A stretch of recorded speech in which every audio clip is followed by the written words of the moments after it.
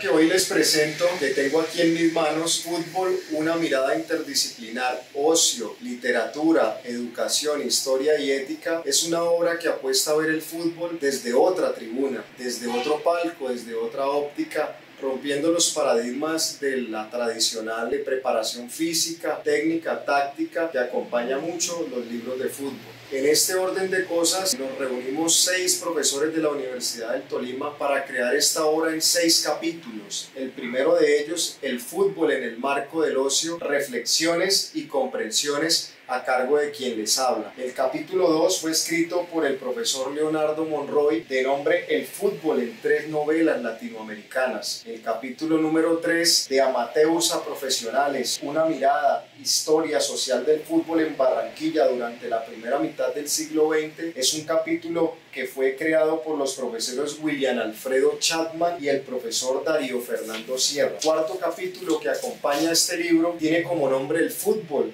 metáfora de la existencia, existencia, obra del profesor Elmer Hernández. El quinto capítulo, escrito por la profesora Luz Estela García Carrillo, de nombre El fútbol como proceso pedagógico en la educación física escolar. El sexto capítulo con el que finaliza esta obra tiene como nombre El fútbol en la cuentística del Tolima, escrito por el profesor poeta Jorge Ladino Gaitán. Como bien les digo, esta obra hecha por docentes de la Universidad del Tolima esperamos sea de su agrado, amigos y amigas.